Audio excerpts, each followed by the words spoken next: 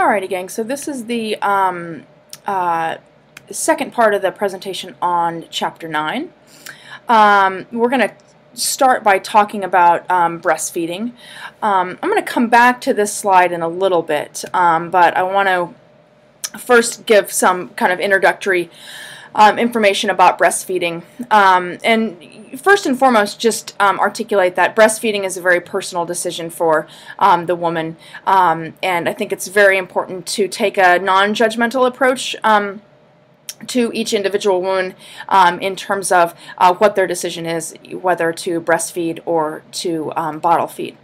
Um, there are many documented um, advantages to breastfeeding. Um, for one, breast milk contains the full range of nutrients that the infant needs in the right proportion. There's no commercial formula that can simulate what the infant can get through uh, breast milk.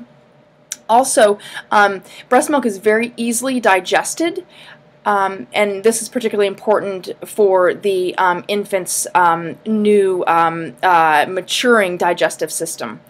When we talk uh, about uh, breast milk uh, versus formula milk, we'll talk about um, uh, the fact that breastfeeding is typically done more frequently because the breast milk is so much more easily digested than formula um, milk.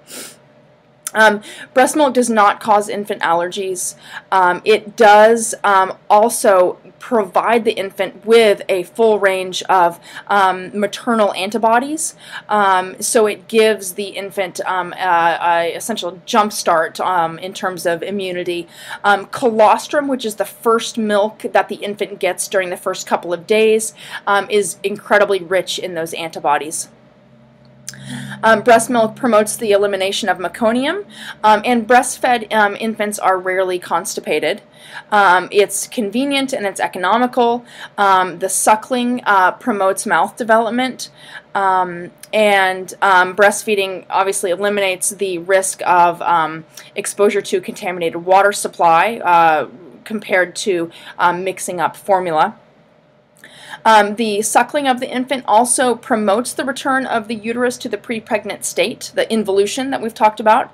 Um, and um, breastfeeding can play um, or may play um, an important role in the development of the infant brain. Um, also, breastfeeding in terms of um, uh, the uh, maternal side does help the mother um, lose weight and return more quickly to her pre-pregnancy weight. Um, and it also helps promote mother-infant um, bonding. Um, and it has been implicated in decreased occurrence of respiratory uh, diseases and illnesses in children. Um, there are um, some contraindications to breastfeeding. Uh, for example, certain medications um, are, um, if the woman is on certain medications, um, uh, breastfeeding is contraindicated. Those include um, cancer drugs, antimetabolites, um, and um, chloramphenicol. Um, a condition called galactosemia is also a contraindication for breastfeeding. Um, women who have um, untreated active TB, HIV, or an active herpes infection should not, um, or excuse me, an active herpes zoster infection should not breastfeed. Um, and women who abuse drugs and alcohol should not um, breastfeed um, because of the um, transmission through the breast milk. Um, let's talk a little bit about um, how what's the physiology of lactation. Um, there are two primary hormones that are at play. Prolactin, um, which is released by the anterior pituitary gland, and it actually causes the production of milk. Um, this um, happens during pregnancy, however, there are, um, um, or excuse me, prolactin is secreted during pregnancy, but there are hormones that are secreted from the placenta that prevent the um, uh, breast tissue or prevent the formation of milk um, initially during pregnancy. Oxytocin is released from the posterior pituitary gland, and it actually enables the milk to get um, uh, delivered from the alveoli to the nipple. Um, and it is what um, that's what's called the letdown reflex or the milk ejection. Um, sometimes a woman might feel um, some tingling um, in her breasts when this occurs, or even some cramping in her uterus when this occurs. Um, the um, infant sucking on the breast um, stimulates the release of oxytocin um, uh, so that milk is delivered um, and um, there and the more frequently the uh, infant nurses, the more milk gets produced. so if the mother, say, for example, has twins and needs to try to nurse twins successfully, well, she can do that because the infant suckling on the breast stimulates the um, continued production of milk. If, say, for example, um, she um, lengthens the time between nursing um, uh, her infant, um, that will um, cause a decrease in her milk production. So it's largely a supply and demand issue. Um, there are um, three phases of um, milk uh, production. Um, the colostrum, um, which, like we, like I mentioned, is produced during the first um, few days of milk production, and it is incredibly vitamin, and protein, and antibody rich. and it also has a laxative effect, so it helps the infant expel the meconium.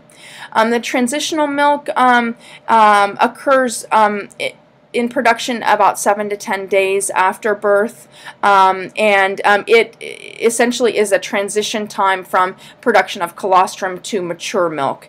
And mature milk is usually secreted after a couple of weeks, and um, it is um, uh, what is present then throughout the rest of the um, nursing.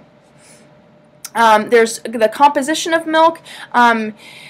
The fore milk is um, the first milk that the infant obtains during a particular um, nursing session, and um, it is more watery and it essentially clenches, clench, quenches the infant's um, thirst. And then the hind milk is the milk that comes later in that particular feeding, and it is higher in fat and it helps to really satisfy um, the infant's hunger. Therefore, it's interesting to consider that the longer the infant nurses, um, the more of the hind milk that he or she will get. Um, therefore, you want to try um, to eliminate really short um, feedings because um, if um, uh, a uh, feeding is cut short, um, the infant may only receive the fore milk and may miss out on the hind milk, which is um, really uh, fat rich and helps to satisfy the hunger. So I talked um, a lot about um, the advantages of breastfeeding already. Um, one important piece um, is the um, galactagogues. Um, mothers from uh, many cultures use these. Um, they're breast milk stimulators. and it's just important, I think, for nurses to be aware of this. they can include beer, brewer's yeast, rice, gruel, uh, fenugreek tea and sesame tea, um, and, and, these are commonly used postpartum as um, uh, breast milk stimulators. Garlic is also sometimes um, um eaten by the mother to prevent newborn illness, um, and this will also flavor her um, breast milk. It's not harmful at all to the newborn. It's just important to be aware and to respect uh, cultural practices. Um, so the next um, uh, item that we're going to talk about are uh, positions for breastfeeding. Um, there are a variety of different um, positions that you can see here in this slide. Um, uh, you know, a couple of things just to consider when you're thinking about the different positions is one, the infant's body should be chest to chest with the mother, um, with the head and neck in alignment, and you can see that is holds true with all of these positions. Um, the um, uh, infant's um, uh, um, position needs to facilitate um, him or her being able to um, uh, grasp onto the breast um, and uh, swallow without difficulty. It's important not to put the infant uh, above the level of the nipple because you want to let gravity work with the infant. Um, and then holding um, the infant below the level of the nipple can exert some pressure on the nipple, which could cause soreness and bruising. Um, And it's important to um, um, center the, um, the, the nipple to the nose of the infant with the nipple aimed at the roof of the infant's mouth. Um, so that the lower part of the jaw attaches first, and uh, a um, effective um, latch-on will occur um, if um, the infant's mouth is wide open uh, before the, the latch-on occurs.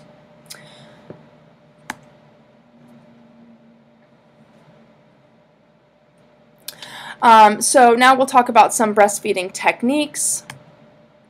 Um, here is uh, kind of a uh, uh, step-by-step uh, depiction of the latch on, and you can actually see that the infant um, has um, uh, most of the areola in um, uh, his or her mouth, um, and the nipple is um, facing up to the roof of the mouth and um, uh, actually is inserted deep into the mouth.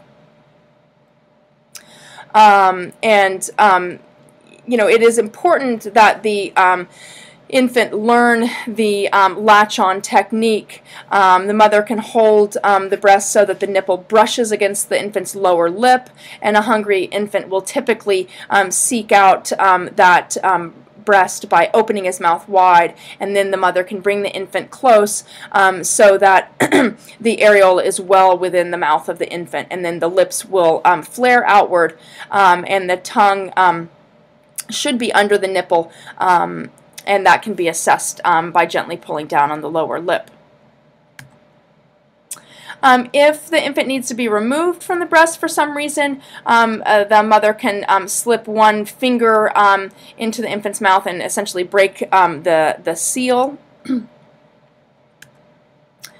Evaluating the intake. Sometimes women get nervous that um, their baby's not getting enough um, um, breast milk, or, and they're not sure how much breast milk the baby's getting whenever the um, baby is nursing. Um, but a couple of things to think about. Um, the letdown reflex should occur, and so that should let the mother know that milk is being produced and is being transferred from the alveoli to the nipple. Um, this will be um, indicated by a tingling sensation um, in the nipple, and you may, and the woman may actually have um, milk dri dripping from the nipple. Um, the infant ideally should nurse for about 15 minutes per breast, and early on um, should nurse about 8 to 10 times per day. Um, and remember the importance of the, the length of the nursing sessions so that um, the infant gets both the fore milk and the hind milk. Um, you typically will hear an audible swallowing sound. Um, the infant will be more relaxed after feeding and sometimes fall right asleep. You can also evaluate their intake by looking at their um, wet diapers. They should have six to eight wet diapers a day and they should pass several stools per day. Um, and um, the mother's breast should feel soft after the feeding um, as it is no longer full of milk. Um, so let's look now at um, preventing problems. um, we talked already a little bit about frequency and duration. So remembering the importance of nursing each breast for about 10 to 15 minutes um, and, er and early on in infancy about 8 to 10 times a day. Um, if the infant is um, overly sleepy, the recommendation is that if um, the infant hasn't nursed in um, uh, three hours or more, that um, he should be um, uh, aroused and um, uh, attempts should be made uh, to feed him or her. if the infant is uh, fussy, uh, oftentimes um, feeding can be a uh, way to soothe the infant. Um, the infant can be um, wrapped or swaddled or held close um, to try to calm um, the infant um, if he's not soothed by the feeding. If a woman has flat or inverted nipples, they can be uh, made to be erect by rubbing them gently or rolling them gently between the thumb and the forefinger. Um, supplemental feedings. It's not typically recommended that the um, um, baby is fed either uh, water by bottle or formula by bottle if um, the um, uh, mother is breastfeeding. And the reason for this is that typically the um, fluids come out much more easily from a bottle, and the infant may develop a preference for the bottle um, because it um, is easier to extract the contents of the bottle. Um, and that can lead to something called nipple confusion. Um, and um, typically, once lactation is firmly established, if um, the uh, infant needs something for soothing purposes, a pacifier can be used, but typically it's recommended after lactation has been firmly established. We talked about breast engorgement earlier, um, but just remembering that early, regular, or frequent nursing is going to help prevent breast engorgement. Um, and um, sometimes between um, feedings, cold packs can be used to help reduce discomfort. Um, and um, um, always making sure that the uh, woman is wearing a uh, supportive bra. Nipple trauma can be um, a, a, significant issue, and as we've mentioned before, it can lead to um, uh, entrance of microorganisms and then therefore to mastitis. Um, the recommendation is that um, soap and water are not used to clean off the nipples. Um, um, uh, if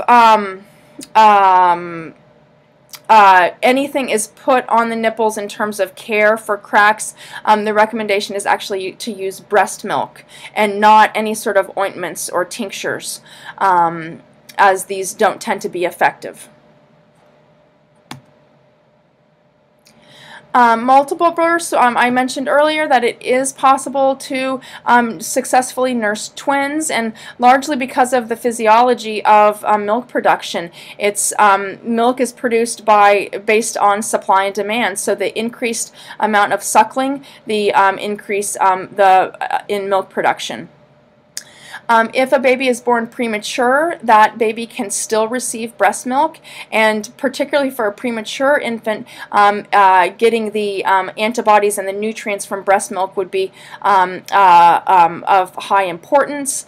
Um, uh, if this premature infant is being gavage fed or tube fed, the mother can pump her milk, and then uh, the infant can receive the breast milk via gavage. If for some reason um, the feedings um, for an infant need to be delayed, um, for example, let's say mother goes back to work, but she still wants to continue to breastfeed exclusively the baby, um, the mother can use a breast pump, um, and um, this milk can be stored either in refrigerator or freezer, and we'll talk specifically about that in the upcoming slides. Um, so milk at um, room temperature um, is not recommended to stay um, more than four hours because of possible bacterial contamination. Um, it can be stored in the refrigerator for 24 hours or in the freezer for up to three months. It is not recommended that you microwave breast milk when you're thawing it because it can destroy some of the um, immunological factors. Um, so if you're getting it out of the freezer, um, you can um, uh, run it under some uh, warm water um, or it can be thawed in the refrigerator um, for 24 hours prior to using. Maternal nutrition. Um, remember, just like with pregnancy, mom is not actually needing to eat for two. Um, but it is important to note that um, breastfeeding mother does need an additional 500 calories over the non-pregnant diet. Um, she should also um, focus on getting adequate um, fluids, primarily water, 8 to 10 glasses a day. and remember that certain foods eaten by the mother can uh, alter the taste of the milk or cause the infant to develop gas. Um, Additionally, um, if the mother is on any medications um, or needs any um, periodic uh, medications, it is um, crucial to consider that she is breastfeeding because certain medications um, are secreted in the breast milk and are not safe for breastfeeding infants. Weaning. Um, it, it, probably makes sense that gradual we weaning is preferred um, both for the infant and for the mother. Um, there's no necessary best time. It's going to depend from situation to situation.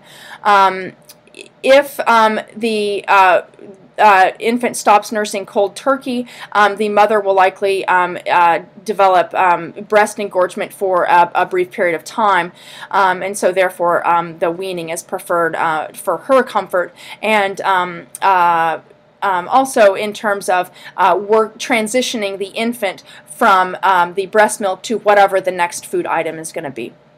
So the technique of weaning includes eliminating one feeding at a time, um, and um, you know typically choosing the uh, feeding that the infant is least interested in, um, usually a daytime feeding, um, and then eliminate that favorite feeding last, and that's often one at bedtime or in the night.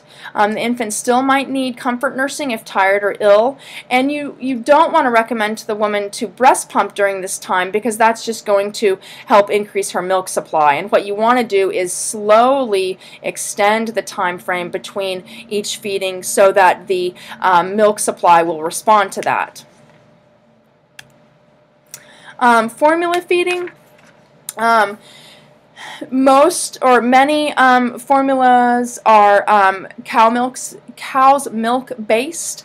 Um, there are soy-based formulas as well for um, infants that can't tolerate the cow milks based. There are ready-to-use formulas, meaning formulas that already come um, uh, reconstituted. There are concentrated liquid types of formulas that just need um, additional water added to them, and then there are powdered formulas.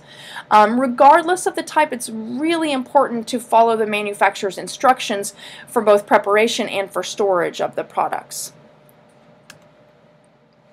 Um, and, and really speaking to that to this point, over dilution or under dilution of a concentrated liquid or powder can result in illness to the infant.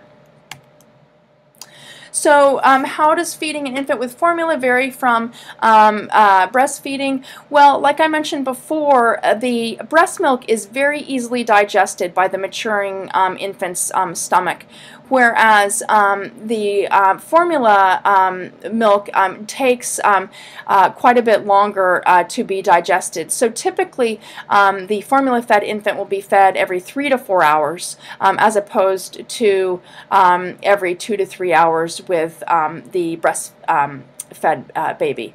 You don't want to microwave a formula and you don't want to give the infant a uh, bottle and uh, prop him or her up with it.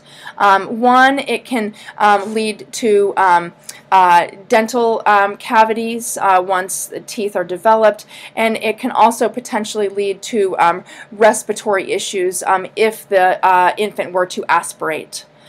Um, and this is a really valuable time to include um, your partner or the, the, the, the, mother's partner or a family member. Um, this is a time in which um, other um, uh, members of the family can bond with the infant. So um, discharge planning, um, making sure that um, the mother is sent home with ample written materials because it's going to be hard for her to remember all of this information. Um, this is such um, an amazing, overwhelming time, and um, verbal instructions um, are going to go in one ear and likely out the other. So making sure that mom and baby have um, all of the pertinent information in written form as well. This should include the following follow-up appointments, hygiene, when to begin sexual intercourse or when it's safe to begin, diet, exercise, danger signs to watch out for and report, newborn follow-up care, um, infant safety seats um, and rules. Um, and reassure the mother that the hospital staff is available by telephone if she should have any questions. Usually in terms of follow-up care, um, women um, are seen at a two-week appointment and then a six-week appointment. And it's really important that she um, keep these follow-up appointments. Um, one, um, because during these appointments, the involution of the uterus is assessed. Um, uh, two, um, the uh, perineum and any incisions, um, episiotomies or laceration repairs, or if it was a C-section, that incision is assessed. Um, and um, also at the six-week um, appointment, um, the provider can get an overall sense of the uh, woman's uh, recuperation and how she is coping and, and adapting to this uh, life change. Um, and also, this will be a good opportunity for the woman to discuss with with the provider any issues that she might have um, that have come up. Um, in terms of hygiene, um, you know, obviously daily showering um, is very important, particularly as we focus on the perineal care. Um, I talked about using the peri bottle um, uh, in a previous uh, presentation.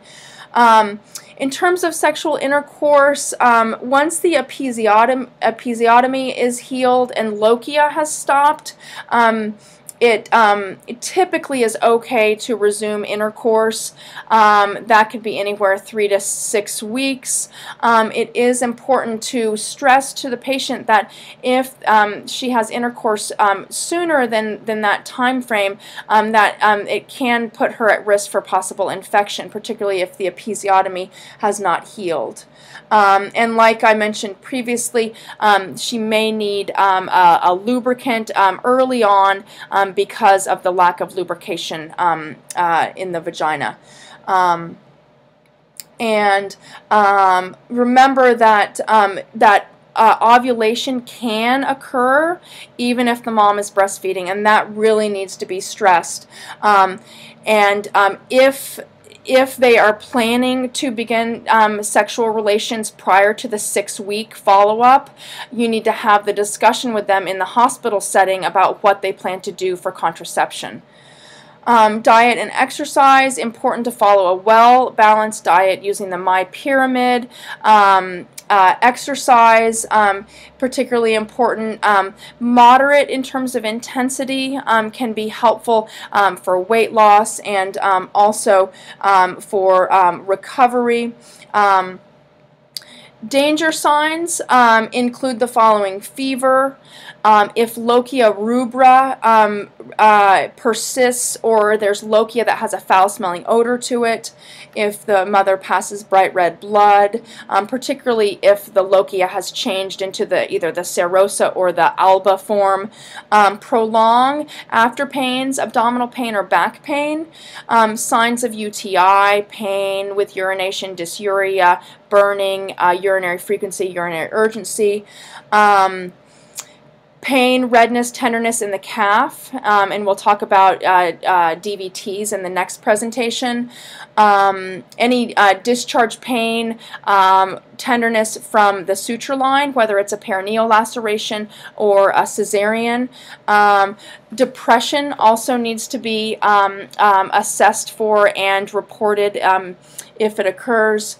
Um, and um, in terms of newborn um, follow-up care, um, it's important that um, the um, family have a uh, plan for um, newborn care and uh, beginning well baby checks um, and um, to help them get set up with a pediatrician if they don't already have one. Um, before discharge, um, the family should be taught about infant safety seats. Um, until the infant is 22 pounds, it will be a in a rear-facing seat, um, and I should say it's 22 pounds and one year of age for a rear-facing seat. And I know that when we left the hospital with our newborn that we had to bring the car seat up and show them that we could um, strap our little um, newborn in the car seat um, safely and successfully before they would let us leave the hospital. Um,